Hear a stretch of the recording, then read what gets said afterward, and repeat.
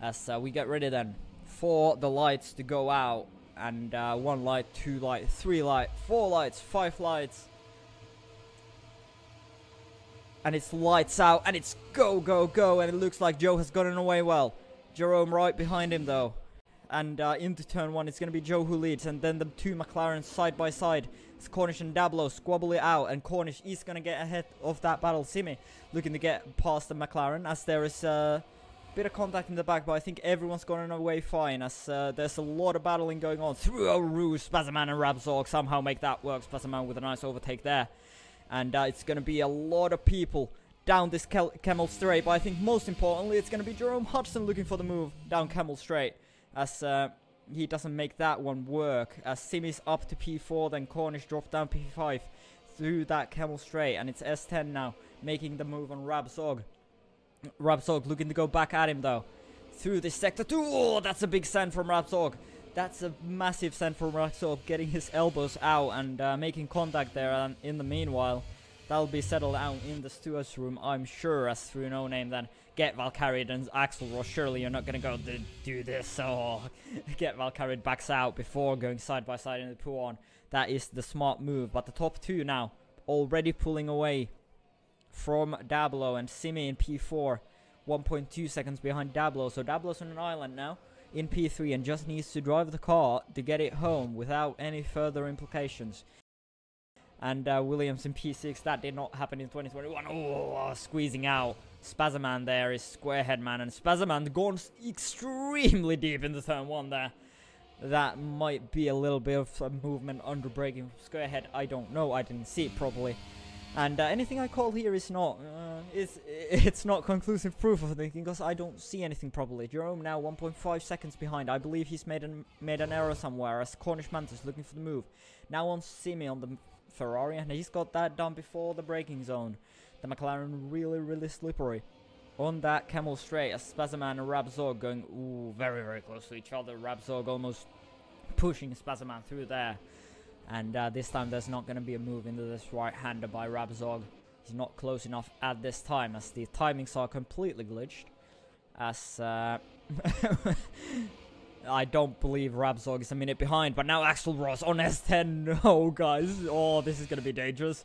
As, oh, in the corner. No, no. I did say it. I did say it was going to be dangerous. Swamp Mouth out of the session in the wall. Axel Ross get Val carried round then. Everyone's going along nicely. Um, oh, a little bit of a snap there for Rabzog. That might leave him vulnerable to Spazzaman through Eau Rouge onto Raidillon. Rabzog going defensive through Eau Rouge. Does not need to do that. Defending a little bit of clear air. And now Spazzaman will have the chance to get him down this straight. As the Aston Martin using his ERS, using the DRS advantage into the next corner, will get it quite easily before the braking zone and into sector 2 as uh, Big Boris as well moving up. So the Aston Martins working in tandem.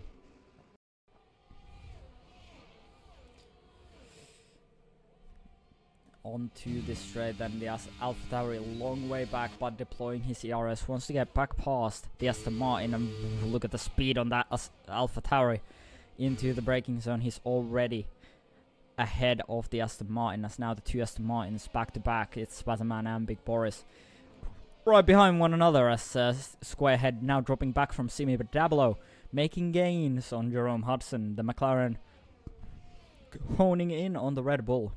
Uh, and now within the RS range of him, um, could be an interesting fight to develop this one if it if it does go uh, that far.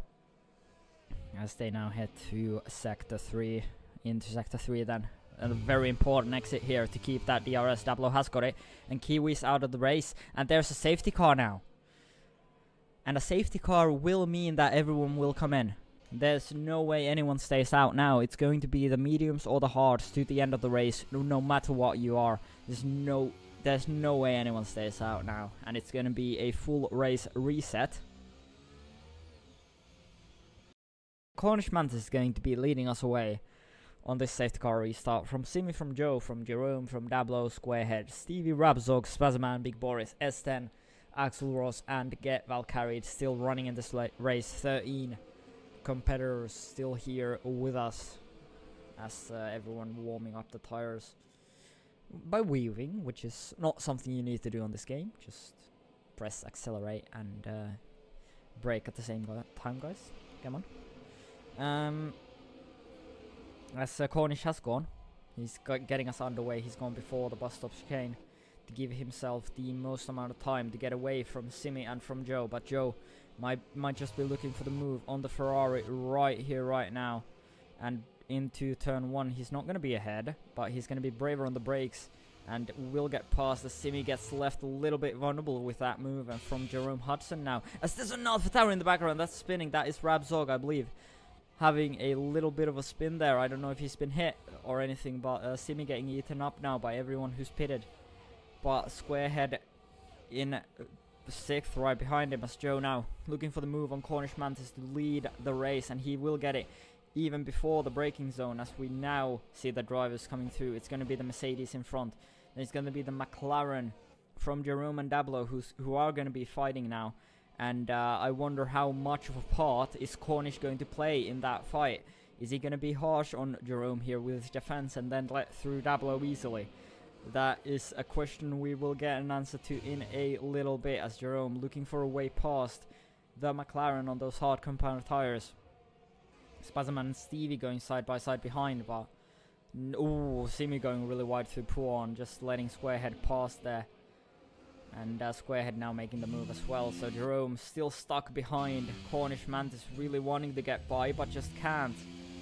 And now through sector 3 we go, and now it's all flat out until the bus stop chicane, and now Jerome has gone past, and I wonder if Cornish is going to let his teammate pass as well here.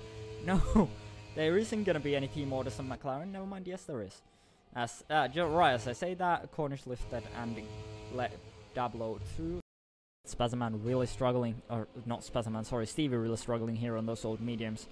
And uh, Big Boris and Axel Ross behind him go side by side. That's a great move from Axel Ross there to get past the Aston Martin. And now into Pouhon, he might just look to get Stevie as well. And we've seen this before. It's a repeat of what happened on lap 2. As uh, Squarehead is out of the race, and there's another safety car!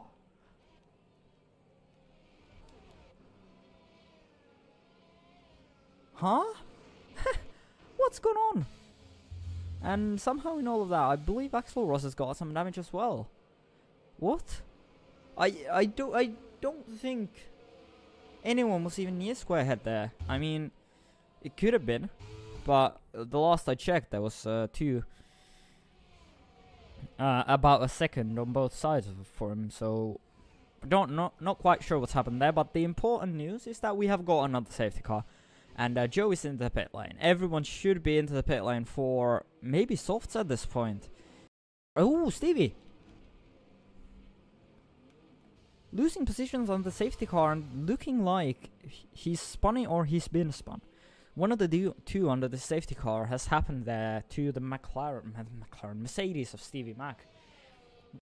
Five more racing laps here around Spa, and it's going to be Joe from Jerome, from Dablo, from Simi from Cornish, S10 Valkyrie, Rabzog, Axel Ross, Boris, who is going to be staying out, uh, Stevie and Spazman then backing the back up, and Joe, safety car restart.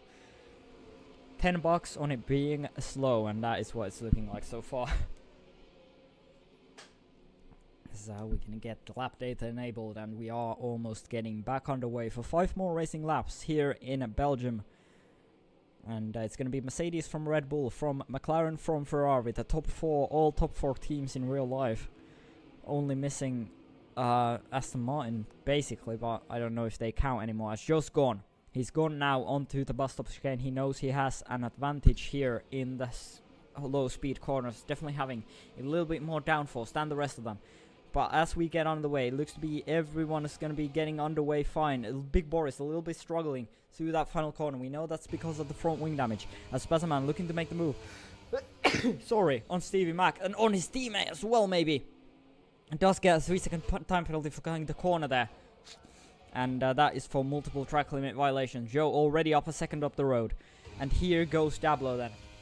Could he make the move on his American friend that is uh, Cornish Mantis getting past a Simi in the McLaren? And he's on those mediums remember so they're gonna be at a slight grip disadvantage here early on as uh, Stevie and Spazza battling it out for P10 and P11 as uh, Stevie does get past Spazzaman and ooh very very close together these two as we get the nice helicopter cam going. And uh, it seems to be everyone's gotten away just fine as uh, Dablo now maybe looking for a move down in the Pouhon on on his on his fellow American and fellow friend, but not quite doing this time around.